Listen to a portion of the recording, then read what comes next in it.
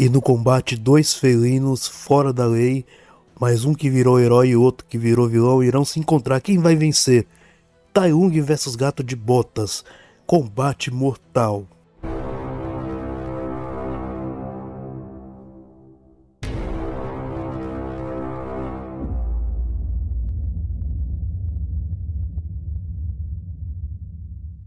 Tai Lung era considerado um filho adotivo por Shifu. Era considerado alguém para se tornar o lendário dragão, o especialista em artes marciais. Porém, Tai Lung acabou escolhendo um caminho sombrio. Tai Lung é muito forte, muito resistente e também tem outras técnicas. E ele é um especialista em artes marciais. Vamos conferir melhor os seus poderes e habilidades Taeyong agora. é muito forte. Para começar, ele é capaz de levantar toneladas. Isso mesmo, ele levantou pedras acorrentadas com seus próprios braços, além de ter quebrado algema de ferro também. Seus golpes são tão fortes que ele golpeou uma lança com tanta força que ela cravou na parede. Olha, ele deu um soco tão forte em um guarda-rinoceronte que esse soco foi forte bastante para derrubar todo o seu esquadrão. Para termos uma noção melhor, um rinoceronte adulto pode pesar de 1,7 toneladas a 2,3 toneladas. E Taeyong lidou com um exército dele sozinho, um esquadrão dele sozinho. Ele foi capaz de chutar a tigresa por um longo caminho através de uma ponte frágil. Taeyong chutou o chão com tanta força que causou uma pequena cratera. Ele chutou um edifício com tanta força que foi capaz de literalmente atingir a sua estrutura. Assim, o Taeyong é muito forte, não é bom ficar no seu caminho. Olha, não se engane, Taeyong também é extremamente durável. Afinal de contas, ele foi treinado arduamente pelo Shifu, inclusive ele relata que teve até os seus ossos quebrados na luta contra ele mesmo. Taeyong é muito durável mesmo, afinal de contas, ele foi capaz de levar uma surra dos Cinco Furiosos e ficar bem. Vamos lembrar que os Cinco Furiosos são especialistas em artes marciais, cada um em seu estilo. Porém, o Taeyong é tão monstro que foi capaz de aguentar uma surra deles sem grandes dificuldades. Além do que, foi esmagado pelo teto do Palácio de Jade duas vezes na luta contra Shifu, Fora que ele aguentou também vários golpes do próprio Shifu. Inclusive, ele até mesmo aguentou vários golpes do próprio Pou, sendo até mesmo esmagado através de paredes.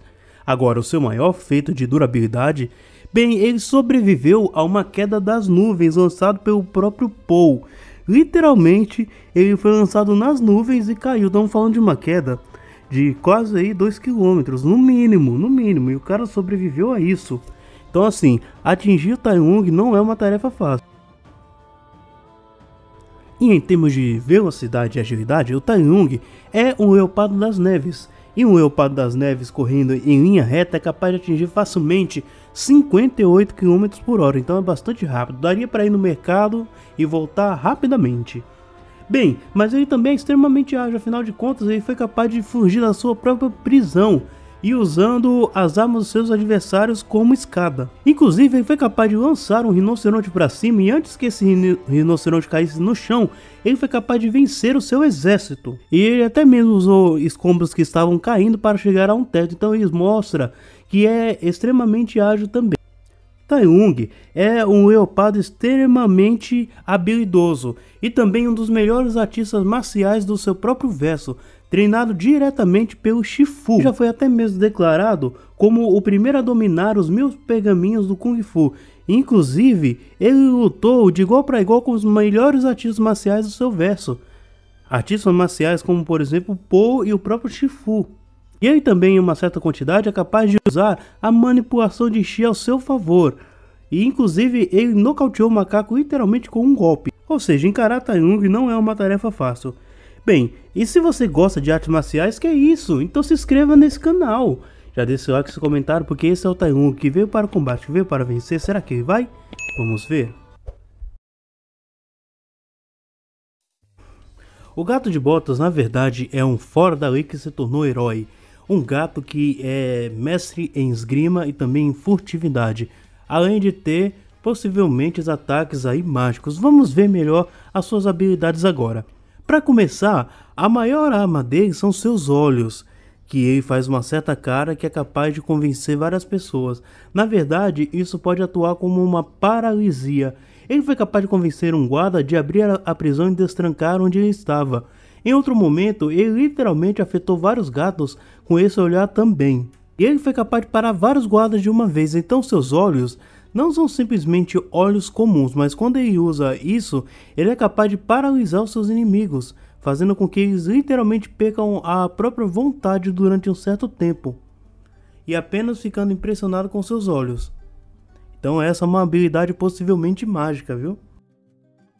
Já usando as suas garras, o gato de botas consegue perfurar coisas, como por exemplo fazer um buraco onde ele mesmo consiga passar e também abrir fechaduras facilmente. E aliando isso à sua furtividade, foi capaz de cortar as calças de um guarda sem ele perceber. Ele é forte bastante para lutar com um humano de igual para igual, lembrando que na teoria ele é um simples gato. Ele bateu no chão com toda força que foi capaz de desprender a sua espada que estava presa no teto, Além do que, ele foi capaz de lutar com um touro em disparada. Também foi capaz de carregar uma mulher e uma cabra ao mesmo tempo. Agora, um dos seus feitos mais impressionantes foi quando ele conseguiu dominar um ganso gigante, sendo que esse ganso era basicamente do tamanho de um prédio. Fora que ele é forte bastante para carregar um cavalo, e um cavalo pode pesar facilmente 300 kg. E ele também foi capaz de ficar ao mesmo páreo com o Dulcinea, sendo que Dulcinea era forte bastante para cortar rochas com a sua espada. Em termos de agilidade, o gato de botas é um gato, então ele é bastante ágil. Ele foi capaz de sacar a sua espada e bloquear um ataque de um homem depois que ele já começou a golpeá-lo.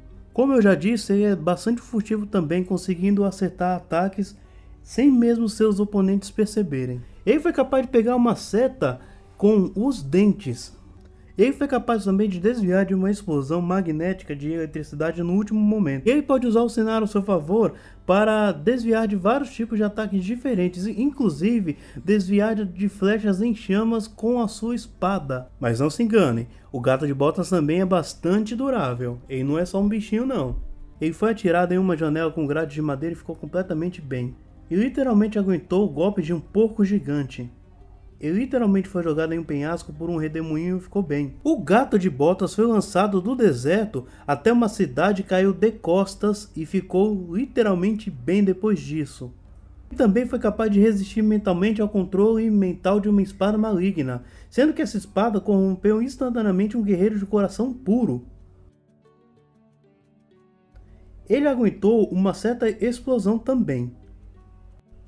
O gato de botas também foi atingido por uma certa explosão de raios malignos e ficou bem também. Ele também é bastante habilidoso e foi capaz de se recuperar depois de ter a sua banqueta roubada debaixo dele. Ele é bastante habilidoso, como eu já disse aqui outra vez, ele é bastante furtivo em suas atividades. E além do que, ele é o mestre espadachim também. Uma das demonstrações mais fascinantes de suas habilidades foi quando ele foi capaz de escapar de ser enterrado vivo enquanto estava acorrentado. Enfim, esse gatinho não é pouca coisa não, hein? E se você gosta de gatos, já se inscreva nesse canal, deixe seu comentário, por quê? Porque esse é o gato de botas que veio para o combate, que veio para vencer. Será que ele vai? Vamos ver. Como podemos ver, tanto Tai como o Gato de Botas são dois felinos extremamente ágeis, mas vamos para a análise final. Vamos prestar atenção numa coisa, os dois são incrivelmente fortes. Tanto o Tai Lung, que foi capaz de lidar com vários rinocerontes de uma vez só, quanto o Gato de Botas, que foi capaz de manobrar um ganso gigantesco, são muito fortes, incrivelmente fortes. Então, nesse quesito, os dois po podem meio que se igualar, pelo menos por um, por um certo período. E aí vamos para as suas outras habilidades. E aqui temos algumas coisas. O Tai Lung, ele provavelmente levaria uma grande vantagem sobre o Gato de Botas. Embora o Gato de Botas seja um exímio espadachim, o Tai Lung é conhecedor de muitas artes marciais e especialista ele pode muito bem lidar com vários oponentes e oponentes que praticam artes marciais diferentes da dele e que usam armas também. Então, nesse quesito, por mais que o gato de bota seja bom, o Tai Lung certamente teria uma grande vantagem. Então, ele poderia usar isso para atingir e infligir vários danos no gato de botas, muito mais do que o gato de botas conseguiria fazer nele. Fora que tem uma outra coisa que dificultaria para o gato de botas: a resistência do Taeyong, que é muito, mas muito superior ao gato de botas. Vamos lembrar que o Taeyong sobreviveu a uma queda simplesmente absurda e levantou como se nada tivesse acontecendo, com pouquíssimos danos. O gato de botas ele é bem resistente também, ainda mais para um gato. Mas de longe, mas nem, aliás, nem de perto, nem de longe se iguala com a resistência do Tai Lung. Então para o gato de botas só sobraria uma coisa a fazer, que seria usar os seus olhos.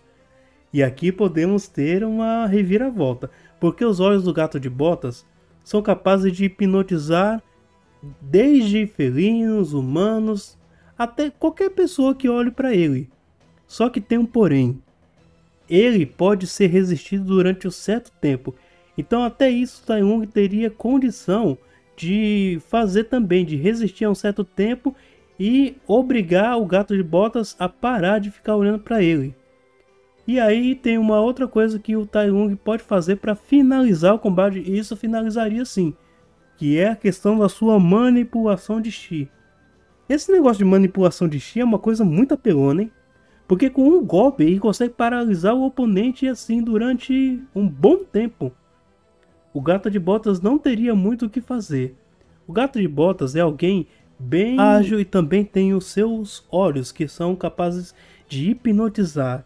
Porém, o Tai Lung tem uma, uma resistência muito maior que pode aguentar durante um bom tempo todos os danos que o gato de botas pode fazer Fora que ele tem umas habilidades em artes marciais muito melhores do que a do Gato de Botas e hacks também, como por exemplo o sua, a sua manipulação de Chi. E dado tudo isso, o ele se sobressai e ele acaba vencendo o combate. E o vencedor de hoje é Tai Lung.